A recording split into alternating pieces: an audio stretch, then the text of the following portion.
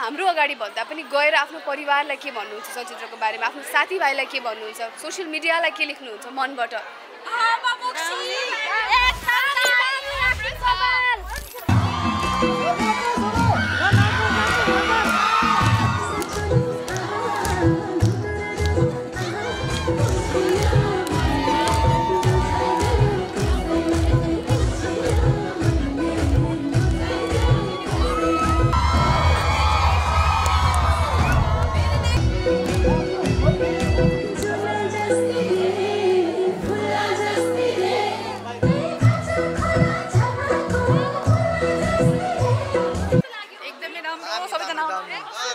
जय राम्रो छ एकदम राम्रो लाग्यो। राम्रो लाग्यो एकदम राम्रो। एकदम राम्रो छ एकदम राम्रो। राम्रो छ मुभी एकदमै राम्रो छ। एकदम राम्रो लाग्यो। राम्रो छ एकदमै राम्रो खेल्नु भएको छ। राम्रो लाग्यो एकदम। एकदमै एकदम। एकदम राम्रो। राम्रो छ। एकदम राम्रो। टेनमा टेनमा टेन टेनमा हन्ड्रेड एकदम राम्रो एकदम हेर्नु होला सबैजनाले। राम्रो छ एकदमै। राम्रो छ। गुड लक राम्रो लाग्यो राम्रो। एकदम राम्रो एकदम। एकदम राम्रो। राम्रो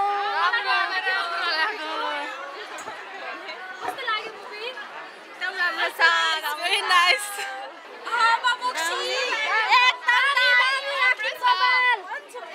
छोयो छोयो अलिअलि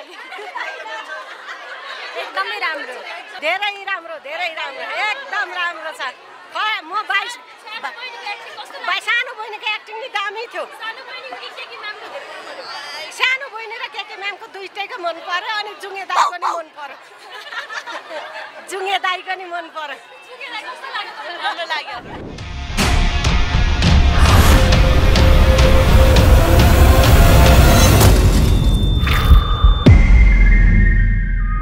सुनेको गाउँ घरतिर देखेको पनि हो। होइन तर कति मान्छेले नबुझेर हो भन्छन्। होइन बोक्सी त्यस्तो हुँदैन। हुँदैन कहिले नै हुँदैन। हुँदैन। पहिलाको नबुझेको मान्छेहरूले त्यस्तो निकाल्छन् कि सोध्छन्। दिमागमा त्यो राख्छन्। हजुर। अँ अलिअलि रोयो। हुँदैन एकदमै कठोर धेरै राम्रो छ। हजुर। अँ, धेरै भन्दाले अब पहिला पहिलाको छिन अब त्यो हुन्छ नि पहिला पहिलाकोहरू गाउँघरमा चाहिँ त्यस्तो चलन आयो भनेर चाहिँ देखाएको धेरै राम्रो लाग्यो। सानो बुनुको अभिनय पनि राम्रो लाग्यो र केही अधिकारको चाहिँ एकदमै बेस्ट।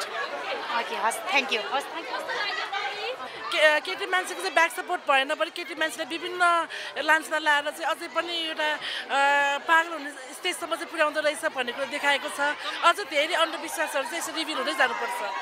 यो कथाले यो भन्नुपर्ने यो बुझाउनु पर्ने भन्ने लागिराख्दाखेरि आज अब दर्शकलाई हामीले छोडिदियौँ उहाँले जसरी लिनुहुन्छ त्यसरी हामीले ग्रहण गर्न बाहेक हामीसँग अर्को अप्सन नहुँदाखेरि पनि उहाँले चाहिँ यस्तो पोजिटिभली फिल्मले दिन खोजेको मेसेज उठाएको विषयलाई यस्तो मनन गरिदिनु भएको पाएँ। कतिजना त हामी बिहानदेखिको सो हामी फर्स्ट सो पहिलो दर्शकसँग हेरौँ भनेर पनि हामी अब त्यही खालको एउटा इमोसनल राइडमा छौँ नि त यत्रो दिनदेखि अनि सँगै थियौँ। अनि कतिजनाले चाहिँ एकदम आङ भयो उठाउनु पर्ने विषय चाहिँ उठाउनु भएछ।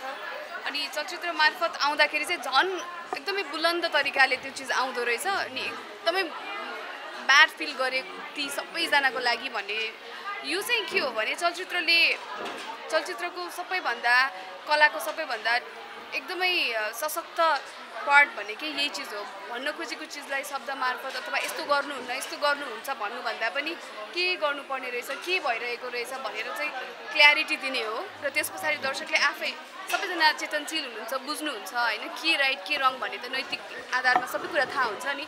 त्यो ग्रहण गरेको पाएँ अनि मलाई चाहिँ के हदसम्म सफल भए जस्तो महसुस चाहिँ भइरहेछ। चाहिँ पुरै हेर्नु भएको थियो। हामीले बल्ल तल्ल निकालेर एकछिनमा नि लिएको छौँ होइन? बेस्ट कम्प्लिमेन्ट के पाइरहनु सबैजनाको छुट्टै छुट्टै खालको चिज लिनु भएको छ। कसैले चाहिँ कसरी तपाईँहरूले यस्तो कथा भन्न आँट गर्नुभयो? कति धेरै लेयर्समा गएर भन्नुभयो? कसरी मेहनत गर्नुभयो? कसरी रुख टुटी टुटी चढ्नुभयो? कसरी टुटी टुटी झर्नुभयो? यस्तो पनि सोधिरहनु भएको थियो। खाली खुट्टा यो भनेर। लड अफ थिङ्स अनि स्पेसली सुपलाको लागि अनि अरू अन्य आर्टिस्ट सुलक्षणजीले जहिले यो कुरा भन्नुहुन्थ्यो कि यो फिल्म आइसके पछाडि दर्शकहरूले सबैभन्दा प्राथमिकतामा राख्ने भनेको पर्फर्मेन्सेस हुन्छ भन्नुभएको थियो। अनि आज एक्ज्याक्टली दर्शकहरू सबैजनालाई पहिलो चिज के के चिजले चाहिँ तपाईँलाई घट पऱ्यो भन्दा सबैजना कलाकारहरूले एकदम जीवन्त अभिनय गरेको एकदम नेचुरल्ली त्यो चिज प्रेजेन्ट गरेको पायौँ। अनि त्यस पछाडि कथाको कुरा त्यस पछाडि अरू इमोसन्सको कुराहरू भन्नुभएको छ कि सो त्यो हदसम्म चाहिँ उहाँलाई एकदमै थ्याङ्क यू भन्नुभयो पर्छ बिकज एज अ मेन्टर उहाँले सबै आर्टिस्टलाई त्यसरी नै एउटै पेजमा राखेर ट्रेन गर्नुभएको वर्कसप दिनुभएको होइन? धेरै मिहिनेत गर्नुभएको छ दिनरात नभनी। अलिकति इमोसनल पनि भएको देख्यौँ होइन? सरलाई हामीले। कुन कुराले चाहिँ अहिले के सम्झिराख्नु भएको छ यो के के म्यामले बोलिरहँदा जसले तपाईँलाई इमोसनल म धेरै कुरा सम्झिरहेको छु हामी एक्टिङको प्रोसेस आफैमा पनि असाध्यै गाह्रो प्रोसेस हो। अभिनय झन् अब जसरी हामीले काम गऱ्यौँ यो सिनेमामा झन्डै छ महिनाको वर्कसप यो नानीले पनि धेरै मिहिनेत गरेको छ। के के जी एउटा सिन मात्र कसैको छ भने पनि उसले केही नभए पनि पन्ध्र दिन त गरेको छ आएर एक्टिङ क्लास लिएको छ। सो म अहिले सबै चिज अ, ला मैले कस्तो गरेँ किनकि मलाई त थाहा छैन नि त। सिकाइरहेको छु एक्टिङ गराइरहेको छु यसरी गर्ने भनिरहेको छु खिचिरहेको छु। अनि यही चिज म आफूले अहिले स्क्रिनमा हेर्दाखेरि आफ्नो बच्चा आफूलाई राम्रो लाग्छ अरे क्या आफ्नो चिज आफूलाई मनपर्छ अरे। अरूलाई कस्तो लाग्छ थाहा हुँदैन नि त। अनि आज चाहिँ म ओभरवेल्मिङ भइरहेको छु सबैको प्रतिक्रिया अलमोस्ट राम्रो आइरहेछ क्या। अनि चाहिँ खुसी लागिरहेछ। अब यस्तै भइदिरहेको सबैजनाले आएर हेरिदिनु भयो दर्शक हामीले पायौँ भन्ने मलाई जहाँसम्म लाग्छ एउटा सफलता खोजिरहेको छ जस्तो लाग्छ यो सिनेमाले। र त्यो तपाईँहरू सबैको साथ सहयोग होइन दर्शकको साथ सहयोग भयो भने हामीले असाध्यै मिहिनेत गरेर काम गरेका छौँ र मिहिनेत गर्नलाई चाहिँ कन्जुसाइ गरेका छैनौँ। अब कमी कमजोरी होलान्। मेरो पनि पहिलो सिनेमा हो। त्यो तपाईँहरूलाई थाहा होला।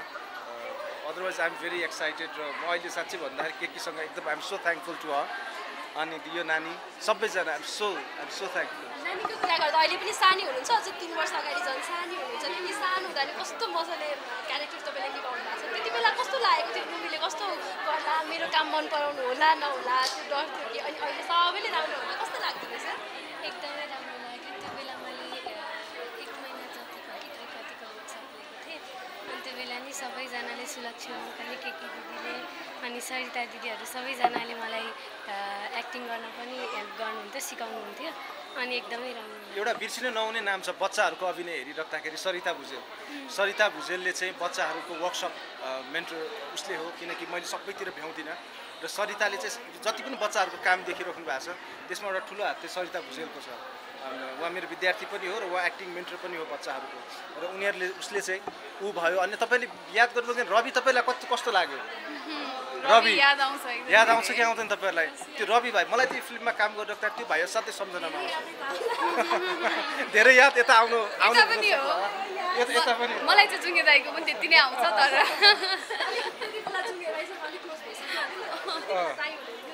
सो अनि मलाई सम्झिन मन लाग्ने चाहिँ त्यो रवि बाबु। हामीले बोलाएको उहाँको एक्जाम भएर उहाँ आउनु पाउनु भएको छैन। जाँच रहेछ असाध्यै पढ्नु हुँदो रहेछ उहाँ। अनि त्यो रवि बाबुले चाहिँ कस्तो मजाले चाँडै सिकेको गाउँको गाउँमा बसिरहेको केही कुराको एक्सेस छैन नि त उहाँहरूलाई। अनि त्यहाँ पुगेर हामीले कति सात दिनदेखि दस दिनको वर्कसप गऱ्यो होइन? गाउँमा गएर दस दिनको वर्कसप गर्दाखेरि त्यो बाबुले गरेको डेभलपमेन्ट देख्दाखेरि चाहिँ म के भन्छु भन्दाखेरि त्यस्तो बच्चाहरूलाई पनि हामीले मौका दिनुपर्छ। र रवि नानु सँगसँगै अरू पनि दुई तिनजना बच्चाहरू छन् त्यो बच्चाहरूलाई पनि अभिनय राम्रो गरेका छन्। यहाँबाट तपाईँहरू कसैलाई चाइल्ड आर्टिस्टहरू चाहिएको छ भने सुपला भयो हाम्रो फिल्मको रवि बाबुहरू भयो साँच्चै कि यिनीहरू अभिनय गर्नकै लागि जन्मेका हुन् र यिनीहरूलाई चाहिँ हामीले बाटो र गाइडेन्स दिन सक्यो भने भोलिको दिनको मलाई जहाँसम्म लाग्छ नेक्स्ट के कि ऊ हो भने नेक्स्ट सौगात मलाई त्यो रवि भाइ हुनसक्छ। That's what I'm saying next के के म्याम हुन मन छ कि छैन तपाईँलाई चाहिँ? बचपन तपाईँ फिल्ममा बस्नुभयो होइन? जुन तरिकाको अहिले सफलता पाउनु भएको छ त्यस्तै हुन मन छ कि छैन तपाईँलाई? मन छ धेरै। छ हुनुपर्छ है। I think she is already better ऊ एज एन आर्टिस्ट म अब यो म नानीको उमेर हुँदाखेरि सायद त्यतिको बेटर पर्फर्म गर्दिनँ त्यो बुझ्न त्यो अ, प्रस्तुति दिन एक्सप्रेस गर्न त्यति सक्दिनँ थियो होला जति उसले गरेको छ। So I think she is already better मेरो उमेरसम्म पुग्दा उसको अनुभव अ, अनुभूतिले उसलाई अब अझ टेक्नोलोजीले होइन अ, सिकाएको हिसाबले डेफिनेटली ऊ अझै बेटर एक्टर भएर निस्किन्छ। के के बन्नै पर्दैन होइन? नेक्स्ट सुपरलाई भन्छ के के आफैमा एउटा सिम्बल हो? नेपाली सिनेमाको होइन? एउटा बिम्ब हो राम्रो अभिनेत्री भन्ने बित्तिकै सायद आउने नामहरूमा पर्छ के के अधिकारी धेरै छन्। र के के अधिकारी पनि त्यसमध्ये हो। एन्ड होइन र तपाईँ जस्तो हुनु पाउनु पनि गर्वको कुरा हो कि होइन आर्टलाई चाहिँ प्रिमियरदेखि नै सबले सल्युट गर्दै हुनुहुन्थ्यो क्या? के केको आर्ट चाहिँ हो रिक्सले के हो होइन? तपाईँलाई सँगसँगै रिक्सले के हो यो मेरो त गडफादर हो नि। मेरो हो Godmother अब नि गडमदर अँ change गडमदर अँ यो यो नेरेटिभ Term सरी। सरी यो नेरेटिभ म चेन्ज गर्छु तर मेरो हो सिनेमामा जस्ट सेङ द्याट यस्तो तपाईँले जुन आर्टको कुरा गर्नुभयो नि खासमा चाहिँ um, यो सब्जेक्टमा काम गरौँ न यो विषयमा भनेर कुरा गर्दाखेरि उहाँले आफै पनि उहाँ अब आफैमा यति राम्रो लेखक कति नारी प्रधान नारीको इमोसनमा उहाँले यति धेरै नाटकहरू र अरू पनि कमर्सियल क्या एकदम अरू जनरको पनि लेख्ने मान्छे उहाँले आफै के भन्नुभयो भने यो अलिक रिस्की छ केकीजी तपाईँले अब फिल्म मेकिङ नै गर्ने हो नारी प्रधान भन्ने। मसँग अरू कमर्सियल फिल्महरू छन् जुन चाहिँ तपाईँ एज अ प्रड्युसर यत्रो लगानी गर्ने भइसकेपछि अलिक सिक्योर्डमा गर्नु। यसलाई त हामी दोस्रो तेस्रोमा बिस्तारै गरौँला भन्नुभयो। अनि म चाहिँ भनेको मतलब एउटा डिरेक्टर हिमसेल्फ यो चाहिँ कि अर्को चिजमा आँट्नुपर्छ भन्दाखेरि पनि एज अ टिम होइन गर्न सकिन्छ। तपाईँले गराउनु भयो भने गर्छु भनेर आँट गरेर यहाँसम्म पुगेको हो। विषय आफैमा च्यालेन्जिङ पनि थियो सो सेन्सिटिभ छ।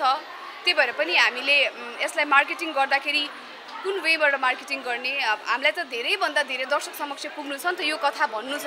अनि त्यसको एक्ज्याक्ट टेक्निक के हुन्छ भनेर पनि हामीले अलिक थ्रिलर हरर फिल्डलाई चाहिँ त्यसलाई अगाडि सार्यौँ तर हुन त यो सामाजिक चलचित्र हो र यहाँको थ्रुबाट पनि फेरि एकचोटि भन्न चाहन्छु यो अत्यन्त मार्मिक यथार्थवादी सामाजिक कथामा आधारित चलचित्र हो। कुप्रथा कुसंस्कारको विरुद्ध बनेको चलचित्र हो। र यसलाई त्यही मनले हेरिदिनु भयो भने अझै कनेक्टेड फिल गर्नुहुन्छ। डेफिनेटली फिल्ममा यस्तो मोमेन्ट्सहरू छन्। त्यो पात्रले तपाईँलाई त्यो जर्नीमा यसरी लिएर जान्छ तपाईँले थ्रिल फिल गर्नुहुन्छ हरिफाइड फिल्म फिल गर्नुहुन्छ। सो त्यो भनेर जीवन सबै कुराको जस्तो लाग्छ। अनि एउटा जीवनमा सबै चिज आउँछ नै। र सकेसम्म त्यो जीवनमा आउने सम्पूर्ण कुराहरूलाई इमोसन्सहरूलाई हामीले यो सिनेमामा दिन खोजेका छौँ। सफल भयौँ भएन अ, त्यो अब आउने दिनहरूले बताउँछ। अहिले हामी भन्न त सक्दैनौँ। कि लाग्दैछ यत्रो मेहनतले अब फर्स्ट दिनमै यति गरिरहँदा चाहिँ अब चाहिँ सफ- सफल हुन्छ जस्तो कि अझै डर पनि छ कि? अब चाहिँ ल ठिक छ भन्ने मुख्यतया त दर्शक माझ पुगेपछि दर्शकले आज चलचित्र त हेर्न आउनुभएको छ। बिहानैदेखिको अकुपेन्सी एकदमै राम्रो छ। काठमाडौँमा मात्र नभएर बुटवल पोखरा बिर्तामोड सबैको रिपोर्टहरू आइरहेछ अनि सबैमा हामीले त सोचेकै थिएनौँ त्यस्तो अकुपेन्सी छ फिल्मको भनिरहनु भएको छ। तर योभन्दा पनि ठुलो जित चाहिँ आज त दर्शक आउनुभयो हेरिरहनु भएको छ। तर यहाँबाट हलबाट गइसकेपछि मिडियामा हाम्रो अगाडि भन्दा पनि गएर आफ्नो परिवारलाई के भन्नुहुन्छ चलचित्रको बारेमा आफ्नो साथीभाइलाई के भन्नुहुन्छ सोसियल मिडियालाई के लेख्नुहुन्छ मनबाट यो चाहिँ हाम्रो सबैभन्दा ठुलो जित हुन्छ त्यति बेला। र धेरैभन्दा धेरै मासमा यो कथा पुर्याउन एकदमै जरुरी छ क्या खासमा त्यसमा चाहिँ हामीले अब त्यो जिम्मेवारी उहाँहरूलाई नै छोडिदिएका छौँ। उहाँहरू नै जिम्मेवार हुनुहुन्छ यसलाई कहाँ पुर्याउनुपर्छ कसरी पुर्याउनुपर्छ भन्ने। सो उहाँहरूलाई त अब हामीले हाम्रो दूत नै घोषणा गरे हुन्छ। हाम्रो दर्शकहरू हाम्रो भगवान् पनि हुनुहुन्छ हाम्रो दूत पनि हुनुहुन्छ अब यो चिजहरूको बारेमा अझै फैलाउन किन जरुरी छ भन्ने कुरा भन्नलाई। जस्तै कि हिजो भर्खर हाम्रो कुरा भएको थियो भेनाले चाहिँ फर्स्ट सो हेर्छु भन्नुभएको थियो र कस्तो प्रतिक्रिया? यस्तो ओभरवेल्ड अब कति स्क्रिनसट बनाउँदै यहाँ हसुल भएछ यहाँ यो यो अकुपेन्सी यस्तो छ ल यहाँ आतिन पर्दैन मतलब एभ्रिथिङ हुन्छ नि हिजो। रातिदेखि सुतेकै छैन अब के हुन्छ कसो हुन्छ भन्ने छ नि त यहाँसम्म पुऱ्यायो अब हिजो राति सुत्ने भन्ने त त्यो सक्दै सकिएन कि? अब हिजोदेखि बुकिङ्स राम्रै थियो अभियसली सोचेभन्दा धेरै नै राम्रो थियो तर पनि त्यो मनमा ढुकढुकी चाहिँ कायमै थियो। पहिलो दर्शकले के भन्नुहुन्छ? त्यो चाहिँ मलाई थियो।